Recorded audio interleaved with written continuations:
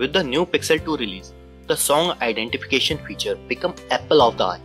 And if you can't afford Pixel 2, then this video is for you.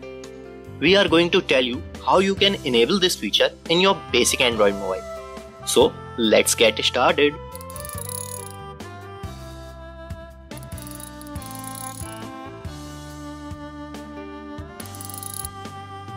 Hi guys, in this video we are going to see how you can identify any song using Google Assistant.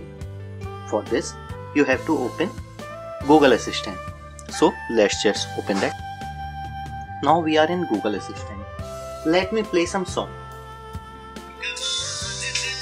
I hope you can hear the song. Now open OK Google and it will promote you to watch the song button. Just click that and it will start listening the song.